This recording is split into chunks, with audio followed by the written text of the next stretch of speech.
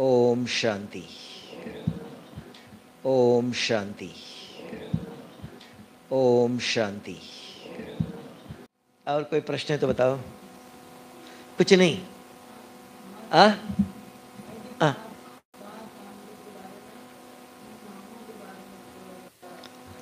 पाँच पांडव। हाँ उनके बोले। कहानी सुनाओ। अच्छा। पाँच पांडव माना ये कहानी पता होना आज भी है। तब बीच में एक व्यक्ति आके समझौता किया तो उसको कृष्ण का, भगवान कृष्ण ने आकर के समझौता का समझा, उसका भी नहीं माना।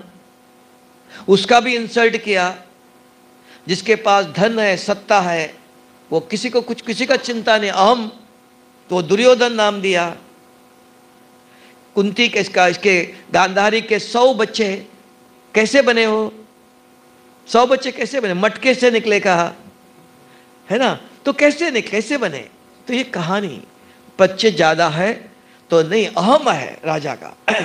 और पांडव, जो भगवान को मानने वाले पाँच ही थे। थोड़े से होते हैं।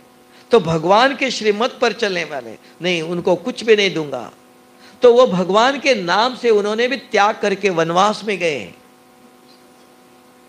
छोड़ दिया, हमको नहीं चाहिए। क्योंकि भगवान हमारे साथ है तो उसको त्याग करना पड़ता है। लड़ाई झगड़ा करता वो जो भगवान पर विश्वास में ज़मीन के लिए, इसके लिए लड़ाई झगड़ा करता है। देखो, सारे परिवार खत्म हो गया। कौरवों का नाम निशान नहीं बच गया। जिसके पास भगवान साथ था, पाँच ही, उनके पास राजा ही नहीं, कुछ भी नहीं। जंगल में, वनवास में गए, लेकिन भगवान साथ है। विजय किसका? नाम किसका? पांडवों का। तब भगवान के साथ जिसका, उसके पास कुछ दिखाई नहीं देगा। कुछ नहीं। राम के पास कुछ नहीं। देखो, रावण के पास पुष्पक, विमान, सोने की लंका। गलत कर्म करने वालों के पास संपत्ति, कलयुग इसको कहते हैं। कलयुग की कहानी है। आज गलत कर्म करने वाले के पास देखो, कार एसी सब कुछ भरा हुआ है। संपत्ति, जो सत्य के रास्ता पर चलता है, उसके पास कुछ भी नहीं है। तब लोग सत्य के रास्ते पर चलना नहीं चाहते हैं। लेकिन सत्य पर रास्ते पर चलने वाले बहुत अनंत काल तक चलेंगे। गलत रास्ते पर चले दो दिन की राजा है तीसरे दिन खत्म। वो धन संपत्ति सुख नहीं देता है।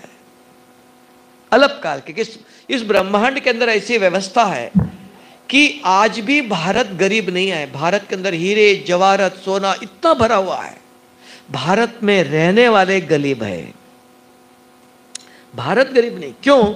इस ब्रह्मांड के अंदर ऐसी व्यवस्था बनाया कि पाप आत्मा इस सृष्टि की संपत्ति का उपभोग नहीं कर सकता है। इस सृष्टि पर जो संपत्ति है, धन, संपत्ति सभी, उसको पुण्य आत्मा भी ही उसका उपयोग कर सकता है। इसलिए